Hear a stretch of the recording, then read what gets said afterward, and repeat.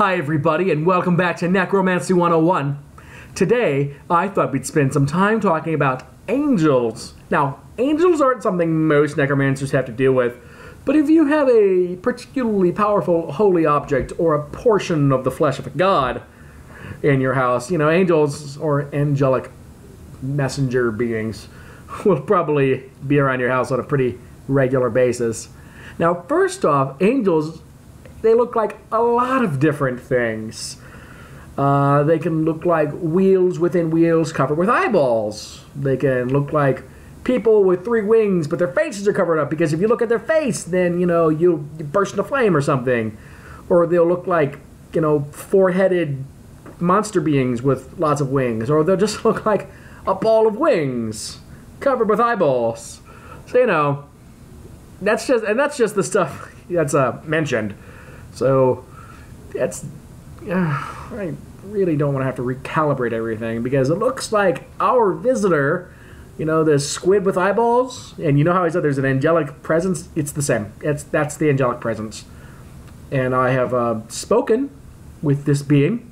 I've actually learned its name. It's it's it's hard to put into words because its name is basically the opening lines to Yakety Sax, followed by a sad trombone noise. Don't forget the blue. Right, right. Surrounded in blue. Yeah. So that doesn't translate well into, you know, terrestrial languages. I mean, I tried and it just looked at me like it like I wasn't I didn't know what I was doing. Looked in a metaphorical sense because, you know, it's it's intangible to me, which is really swell. So, I have to recalibrate everything.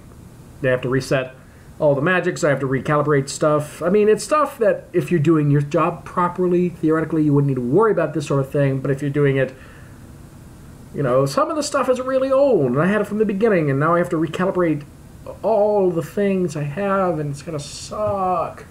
I'm gonna hate it. So. On, on the other hand, uh, James and I's search for um, who he is, that's we, we've made no progress. Um, so yeah, that's where that stands. But we're going. We're still working. We're still looking at it. It's still something. It's in the works. But so yeah, now we have our angelic visitor, um, Bob. I'm just I'm just deciding now. We're gonna call it Bob because I don't want to mispronounce his name. His its name, their name. So yeah. So Angel Bob. That's it for now. Uh, like and subscribe. Uh, comment below if you want to comment below. Uh, I'll see you guys next time, though.